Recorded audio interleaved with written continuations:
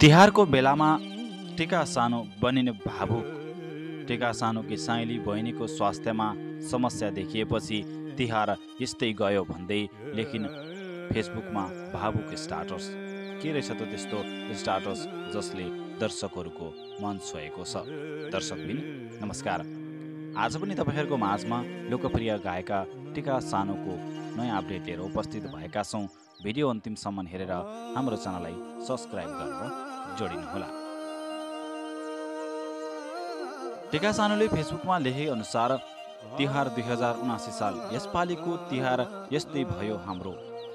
साहिली बहिनीको स्वास्थ्यमा अवस्थामा फेरि निकै नै समस्या आएपछि तिहारको दिन त तुलसीपुर सिटी अस्पतालमा पो बस्नु पर्यो फेरि उसँग सँगै शोभा दिदी बहिनी हुमा अनि म पनि हिजो ज्वरोले उत्तिकै खपिरहेका छौँ। ज्वरो आज पनि उस्तै छ।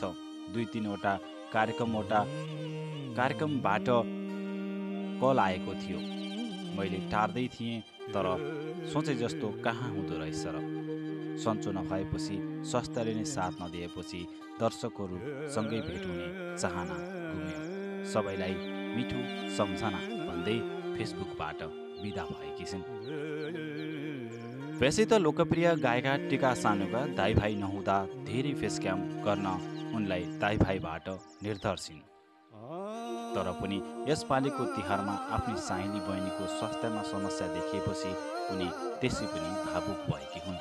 त्यसैमाथि आफू र ठुली दिदीको पनि ज्वरो आएको कारणले उनलाई समस्याको कारणले उनी यसपालिको तिहारमा हरेक कार्यक्रममा उपस्थित हुन नपाएकोमा भावुक बनेकी हुन्।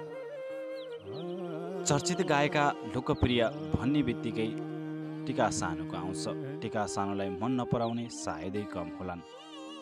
नेपालका हरेक कार्यक्रमहरूमा उपस्थित भएर सबैलाई मनोरञ्जन दिने टिका सानो यसपालिको तिहारमा नपुग्न पाउँदा एकदमै भावुक बनेकी हुन्।